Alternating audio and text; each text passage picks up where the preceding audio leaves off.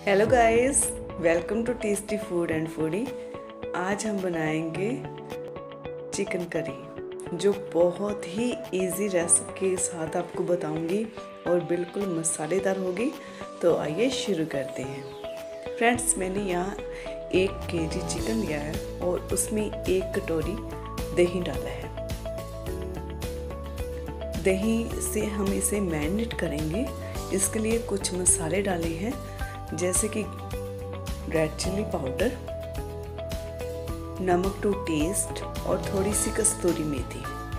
Friends अगर आप चाहें तो इसमें धनिया और पुदीना ड्राई जो होता है ना, वो भी डाल सकते हो।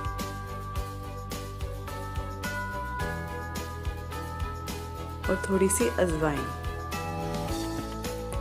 काली मिर्च, नमक टू टेस्ट सभी चीज़ों को डालकर जो भी आपके पास मसाले हो ना, चाट मसाला, जो भी आपके पास हो, वो सभी मसालों को डालकर इसे अच्छे से मिक्स करें और इसे मैरिनेट होने के लिए आधे घंटे के लिए रख दें।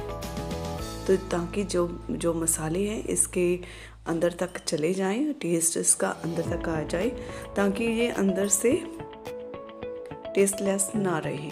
तो इसे मैरिनेट आधे घंटे के लिए रख दें। और दूसरी तरफ़ फ्रेंड्स, मैंने सरसों का तेल लिया है, हाफ़ कटोरी, वो इसमें डालूँगी। सरसों के तेल को अच्छे से गर्म कर कर जब इसका कलर चेंज हो जाए, तभी आप इसमें मसाले डालें। और फ्रेंड्स, एक बात और है कि जब आप सरसों का तेल गर्म कर लें तो उसे थोड़ा सा ठंडा होने दें, उसके बाद उसमें मसाले डालें। फ्रेंड्स, इसके लिए मैंने दालचीनी और जीरा और लौंग लिए हैं चार पाँच और बड़ी इलायची, छोटी इलायची, जो भी मसाले होते हैं ना, खड़े मसाले, वो आप इसमें तेल में डाल सकते हैं। और साथ में मैंने लौंग डाले हैं और बड़ी इलायची। आप जो खड़े मसाले, वो डाल सकते हो। तीन हरी, तीन लाल मिर्च, जो सूखी लाल मिर्च होती है, वो। और इसे अच्छे से रोस्ट तो ये मिनटों में हो जाएँगे क्योंकि तेल गर्म होता है। और साथ में इसमें प्याज डाल दें। प्याज को अच्छे से पिंक करना है फ्रेंड्स, प्याज कच्चे नहीं छोड़ने, क्योंकि अगर ये अच्छे से भुने जाएँगे, तभी हमारी जो ग्रेवी का कलर है ना ब्राउन सा, वो फिर आएगा। ये देखिए, इस तरह से प्याज अच्छे से रेड कर लें ब्राउन सा कर लें, और इसके बाद हम इसमें मसाले ऐड करेंगे। फ्रेंड्स आप चिकन में जो भी पानी डालें ना, वो पानी गर्म होना चाहिए। जिस तरह से मैं साइड में पानी गर्म कर रही हूँ। और साथ में हम इसके डालेंगे, नमक थोड़ा सा कम डालेंगे क्योंकि हमने मैरिनेशन में भी डाला हुआ है। और साथ में धनिया मसाला। हमने अभी इसमें चिकन मसाला नहीं ऐड करना और थोड़ी सी हल्दी। और इसे अच्छे से मिक्स करेंगे। भूनेंगे फ्रेंड्स तेल की मात्रा मैंने बहुत कम रखी है। और लहसुन अदरक बारीक कर कर डाला है। आप चाहें तो इसमें पेस्ट भी यूज़ कर सकते हो। इसका पेस्ट भी बना सकते हो और अगर रेडीमेड की इच्छा हो तो आप वो लहसुन और अदरक का पेस्ट भी एक एक चम्मच इसमें डाल सकते हो।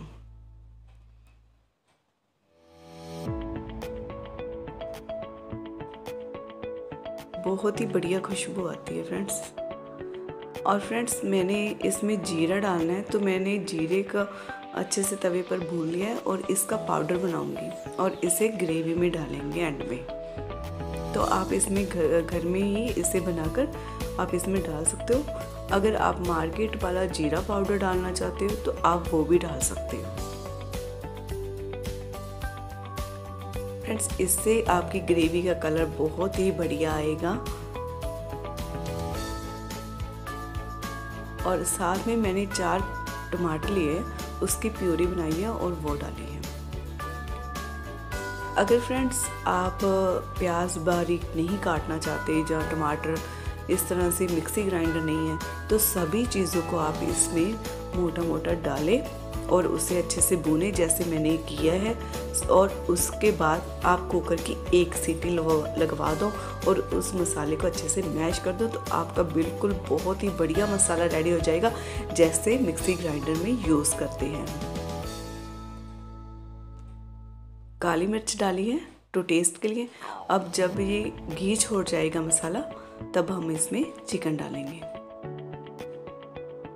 फ्रेंड्स मसाला बहुत ही बढ़िया बना है।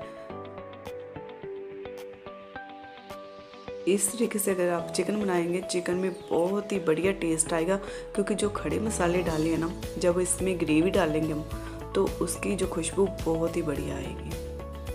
अब फ्रेंड्स मैरिनेट किए हुए चिकन को आधा घंटा हो गया, अब मैं इसमें डाल दूँगी।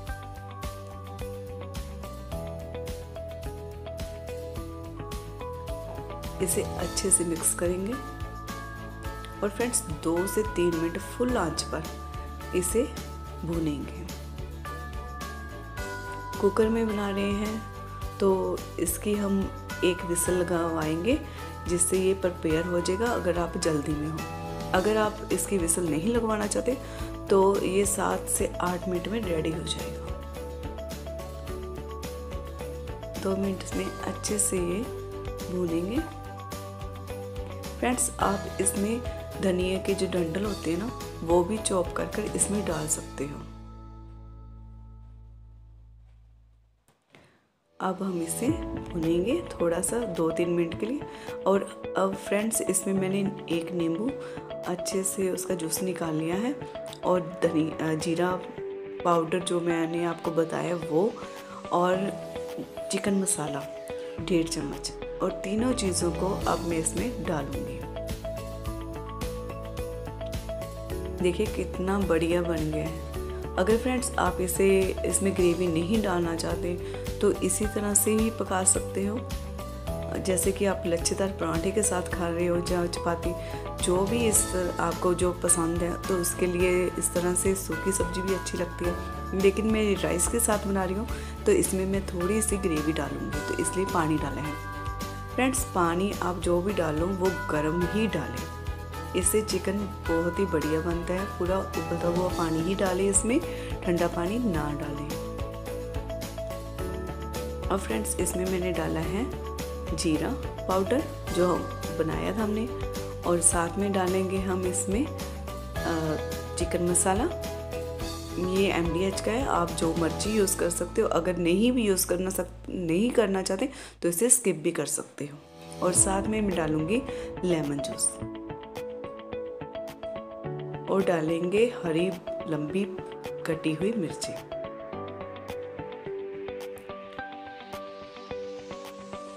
इसे अच्छे से मिक्स करेंगे और एक विसल तक इसे पकाएँगे। फ्रेंड्स इसे टोटली मुझे बनाते बस। मैरिनेट के टाइम ही लगा है, बाकी टाइम कम लगा है और चिकन अच्छे से जल्दी से प्रिपेयर भी हो गया अब फ्रेंड्स हम टेस्ट करेंगे। अगर हमें कुछ कम लगा, नमक, मिर्ची कुछ भी तो हम इसमें ऐड कर देंगे। फ़िलहाल मेरा परफेक्ट है। आप एक बार टेस्ट करके चेक कर लें। अब फ्रेंड्स हम इसे एक सीटी लगवाई है। आप देखिए। चिकन हमारा बहुत ही बढ़िया बन गया है। बहुत ही टेस्टी और डिलीशियस बना है। आप इस आई होप आप इसे घर में जो ट्राई करोगे। राइस के साथ तो ये बहुत टेस्टी लगता है। ग्रेवी जो होती है ना, बहुत ही बढ़िया बनी है। जो इसमें मसाले डाले थे, उसका जो खुशबू और टेस्ट बहुत ही बढ़ गया है। आई होप आप इसे घर में ट्राई करोगे। और प्लीज़ प्लीज़ मेरे चैनल को लाइक कीजिए शेयर कीजिए सब्सक्राइब कीजिए मेरे चैनल को, ताकि मैं आपके लिए हेल्थी हेल्थी रेसिपी लेकर आती रहूँ।